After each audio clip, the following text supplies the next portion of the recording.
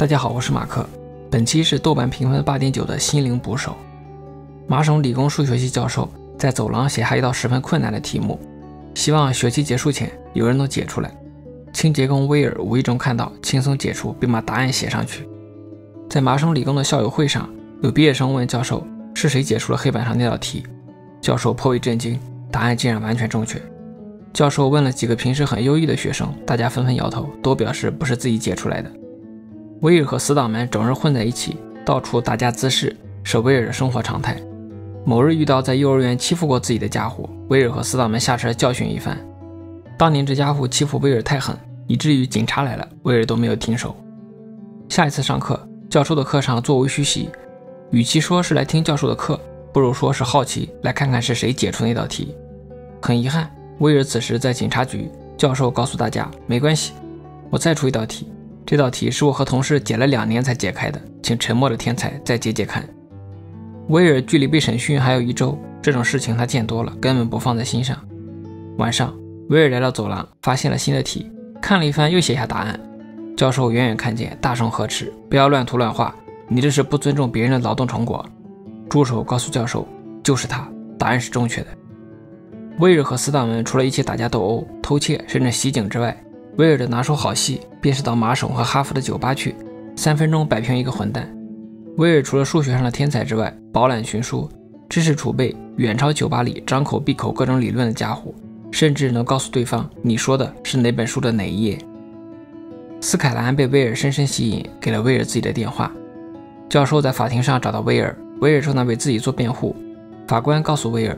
一页 A4 纸已经写不下你的履历，你住过几个寄养家庭，受过三个家庭的虐待。别的法官是关心你，但你打警察就得坐牢。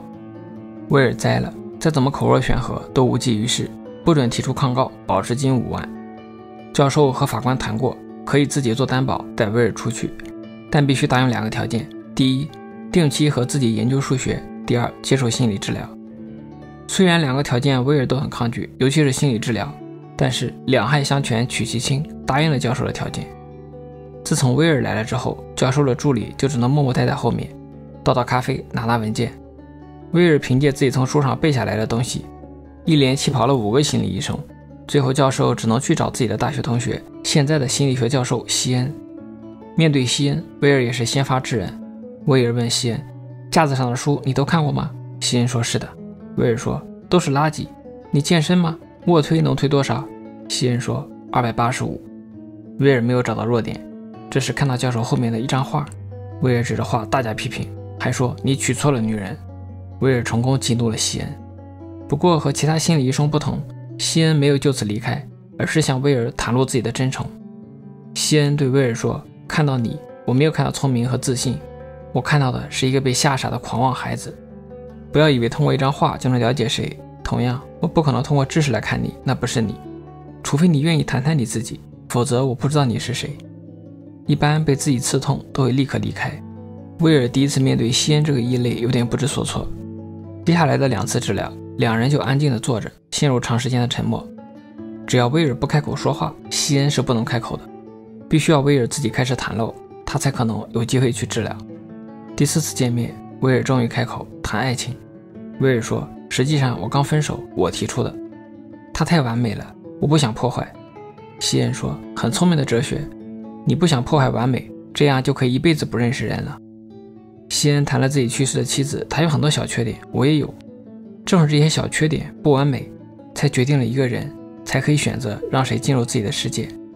结束后，威尔便去找斯凯兰，并带着女友和死党出去喝酒。威尔和女友的关系发展的很顺利。女友深深爱上威尔，并提出要带他去加州。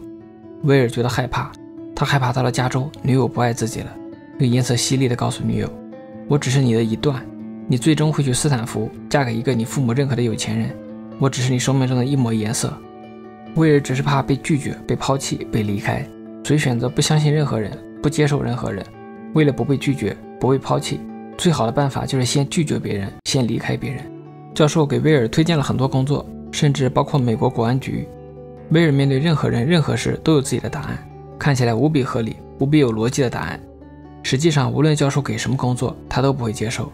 那破坏了威尔的世界，和死党们在一起，打架斗殴，在工地上打工，或者到大学做清洁工。威尔长此以往的坚守这个世界，小时候的虐待和伤害太重，以至于他没有勇气离开现在的生活。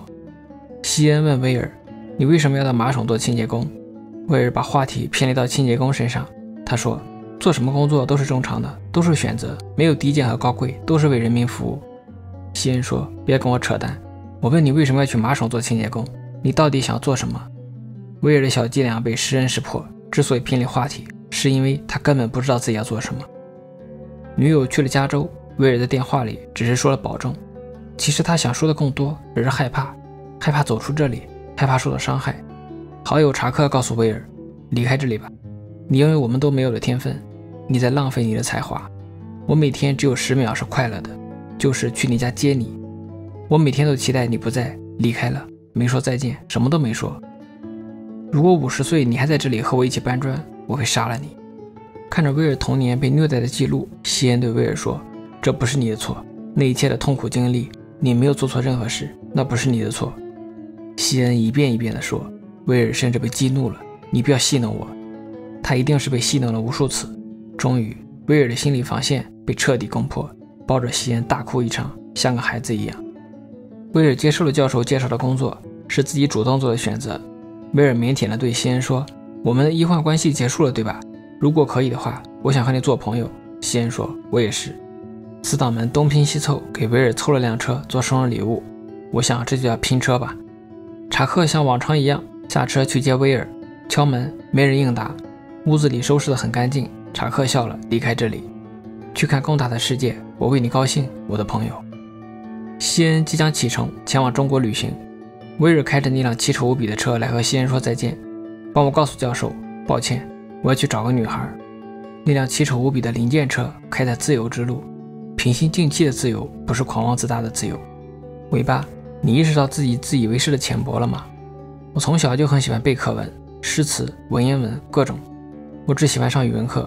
这么做有好处，比如考试容易些，但坏处也有，就是我总会无意识的拿一些话来当信条，标榜自己，把一句话附在自己身上，显得自己有多懂。我们小时候都写过座右铭，刻在桌子上，什么失败是成功之母，勿以恶小而为之，勿以善小而不为，走自己的路，让别人去说吧。天才是百分之一的灵感加百分之九十九的汗水，时间就像海面里的水，只要愿意挤，总会有的。明日复明日，明日何其多，等等。但真的理解这些话吗？起码我没有，我只是背下来，也能写下来，甚至能说出来。即便到了说的程度，也仍然不知道自己在说什么，只是想说话，不是有话要说。就像一个孩子走在森林中，看到漂亮的花，哎呀，这个好看，不，那边那个好看，捡一个丢一个，捡一个丢一个，迷失在花海里，还忙得要死。可能捡了丢，丢了捡，已经看过几千朵花，但连一朵花香都没有感受过。当走出森林，会对小伙伴们说自己看过如何漂亮的花，有几千朵，你们都没有吧？难道这就是万花丛中过，片叶不沾身？不，就是肤浅罢了。我第一次意识到这件事儿，是在大学毕业后。有一天，在云南的一个叫云县的地方等公交车，是个下午，天气很热，从十二点多等到下午两点，来来去去好多趟车，就是不停车，我大为恼火。乡下就是乡下，连公交车都这么野蛮。难道要我拿出一百块冲公交车挥手吗？哦，对了，那个站的站名叫招呼站。终于，公交车站来了一个穿得破破烂烂的男人，说是公交车站，其实只有一块牌子。我心里想，倒要看看他怎么做。过了十几分钟，公交车又来了，只见这个男人像招呼出租车一样伸手，那公交车便停下了，我也就跟着上车了。我坐在最后一排的窗户边，我打开窗户，吹着盛夏炽热的风，我心里那个凉啊！比雪碧都凉，那一刻我真的很想在地上挖个洞钻进去。我自诩为读过一些书，还记住很多大师的话，没有哪个时刻比那一刻让我更感到我的浅薄。那个穿得破破烂烂的男人让我感到难堪。或许真的上了战场，我这样浅薄的人一定会冲锋在第一个，而那个和我一起坐公交车的男人应该会跟在我身后吧，总会跑得比我慢一些。前几天听了一首儿歌《读书郎》。小时候不知道听了多少遍，唱了多少遍，可前几天再听，我觉得这不是儿歌，这是摇滚啊，朋友们！还有比这更摇滚的吗？不怕太阳晒，也不怕风雨刮，只怕先生骂我懒，没有学问，无脸见爹娘。不是为做官，也不是为面子光，只为情人能翻身，不受人欺负，不做牛和羊。